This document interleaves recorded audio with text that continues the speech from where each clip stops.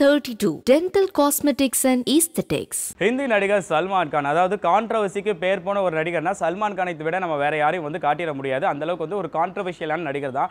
இவரை வந்து எவ்வளவுக்கு எவ்வளோ வந்து நல்ல விஷயங்கள் சொல்றாங்களோ அதுக்கு ஈக்குவலாக இவர் இவர் பற்றின கான்ட்ரவர்ஷியலான விஷயங்களும் ஸ்ப்ரெட் ஆகிட்டு தான் இருக்கும்னு சொல்லலாம்.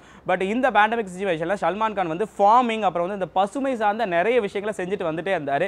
இது வந்து நிறைய பேரை இன்ஸ்பயர் பண்ணிச்சு இவங்க ரசிகர்கள்லாம் வந்து எடுத்து வச்சு கொண்டாடினாங்கன்னே சொல்லலாம். ஏன்னா நிறைய ஃபார்மிங் பண்ணார் அனிமல்ஸ் எல்லாம் ஃபீட் பண்ணார் நிறைய அனிமல்ஸ் எல்லாம் வளர்க்க ஆரம்பிச்சாருங்கிற மாதிரியான விஷயங்கள்லாம் நம்ம பார்த்து தான் இருந்தோம்.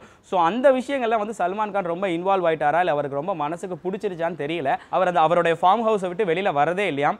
அந்த அந்த ஒரு ஒரு க்ரீன் பேஸ்ட் அந்த இடங்களில் தான் வந்து இப்போ அதிகமாக டைம் ஸ்பெண்ட் பண்ணுறாராம் சல்மான் கான் வந்து இன்னும் அவரோட ஷூட்டிங்லாம் கூட சரியாக வந்து ஸ்டார்ட் பண்ணி இன்னும் கூட ஷெடியூல் பண்ணலையாம். அவரோட பிரபலமான ஒரு தனியார் தொலைக்காட்சி நிகழ்ச்சியும் வந்து கூடிய விரைவில் தொடங்க இருக்கிற நிலையில் சல்மான் கான் வந்து இப்படி வந்து ஃபார்மிங்லேயே வந்து ஃபுல்லாக இன்வால்வாக இருக்காரு. எப்போ இவர் வந்து ஷூட்டிங்கை ஸ்டார்ட் பண்ணுற மூடில் இருக்கிறாரு?